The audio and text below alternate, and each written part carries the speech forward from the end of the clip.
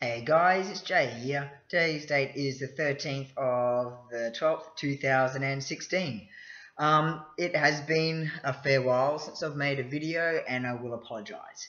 I like to make my videos and I'm home alone and we have a very busy household so it's very rare that I get some time to do stuff like this. Um, in all honesty, I can't remember when I made the last video. I think it might have been roughly about two months ago and I probably should have checked that before I made this. But I've only got a little bit of time to do this so I thought I'd quickly make a very uh, touch base video. So, um, uh, I am six months post-op. Um, recovery's been perfect. There's been absolutely no dramas whatsoever with my recovery of um, top surgery with Andrew Ives.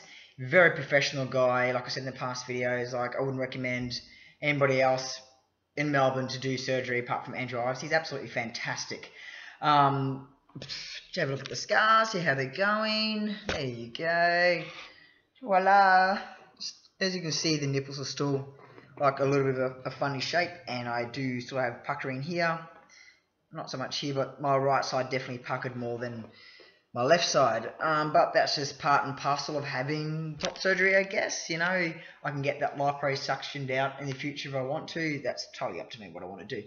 Now, probably if I started training too, I'd probably fill it out a bit more. But um, I've still got a really bad back. I've got no L5 in my lower back, so lifting weights is still not on the cards for me. I have to wait a little bit longer and most likely have surgery to put a sponge between my back and coccyx bone instead of it fusing together with spurs like that. So I can't train because my back's pretty much locked. Um, but I'm guessing training will definitely help fill out, you know, the little bits of skin. And as you can see, I'm not exactly in shape at the moment. but what are you supposed to do? If you're fucked, you're fucked, you know. Anyway, um, I was talking to my girlfriend the other day, and we are talking about the changes and you know stuff like that, and it really occurred to me, um, you know, being trans and, and not growing up around guys and having a lot of male friends, I, I find it quite hard to commu communicate with guys and know what to talk about and all that shit. And sometimes I miss that female and female connection. Now, this doesn't mean that I regret transitioning, because I don't, but sometimes I really do miss being connected, like women connect to women, not when women, women men don't connect to women like women connect to women. Okay, and although we know what it's like to be female and have the emotions that a female has and all that, as you transition, you do tend to forget because your emotional state changes, your mental state changes, so you don't think like a female like you used to, you don't feel like a female like you used to. So everything's very um very heterosexual and if you know you're not going to counselor or anything like that like I'm not it can be pretty hard to keep up with at times but, you know, I found myself thinking that on Sunday, you know, there are certain things I miss about being in a gay relationship too. Like, I don't know, you just, it's hard, it's not hard, it's, it's different. It's very different living as male to living as female. Um, so if you're starting your transition and, you're not seeing a counsellor and stuff like that, I'd suggest you just keep going to one because I haven't been to one for about six or seven months, and I tell you what, I need to talk to somebody professional because my headspace is going. Brrr, but it's it unless it, if unless you got male friends and you've been brought up around males, like I had a lot of females around me my whole life. Obviously, being a gay woman until age of thirty four. Um, yeah, it's different. but just be mindful of it because sometimes it can spin you out. Um, I asked Belle if she thought I'd changed as a person. She said I've changed a little bit. Uh, certain things that um, have changed with me, and I think as I transitioned and the hormones started affecting affecting sorry my mental state, um, I feel like I've become a bit more of a basic thinker. I'm not as wound up as I was as a female. My emotions don't run at a thousand times an hour, and I haven't got a thousand emotions running at once. I feel one thing at a time, and I process one thing at a time.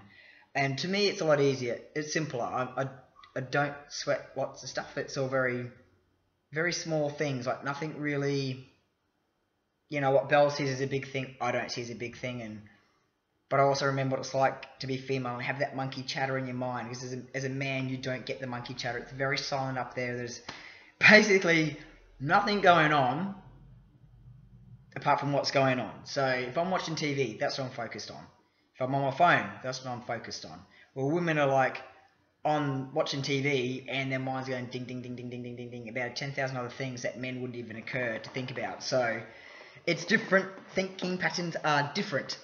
Um, anyway, back to surgery. So a few guys I have seen on FTM Australia um, have just had surgery like the last four to five weeks, some six weeks, and they're already back at the gym trying to lift weights and do pull-ups. Now listen guys, um, six months until you lift anything. Although your scars look okay, you don't know what's going on underneath your scar tissue. You could be tearing all your muscles apart that are being stitched together. So just take it easy and be patient. Um, I miss training, but I'm six months now, and I'm probably just ready to really start getting back into it. Because reconstructive surgery is just as expensive as getting top surgery in the first place. So you're spending 10 grand to get top surgery to feel comfortable in your body. Then you're going to push yourself at the gym. You're looking at another 10 grand to get all that damage repaired. So take it easy. Give your body a break. Although it doesn't feel like it, because it doesn't, recovery doesn't hurt like people think. Your body still needs up to six months before lifting anything heavy. You look at your scars. Look how big they are. Like, you know, they wrap the whole way around. And just because we can only see what's on top, it doesn't mean we know what's going underneath. So be patient. Reconstructive surgery means more time off work, more money to fix it to start off with, and then more more time off work, which is obviously more money. Do you really want to be spending twenty thousand dollars to get the perfect chest? Ten grand was enough. Just take it easy. Don't push your body. It's muscle. It comes back. You know. Anyway, as you can see, I, I keep touching my back. Um, the acne on my back is still bad, but not as bad as it used to be.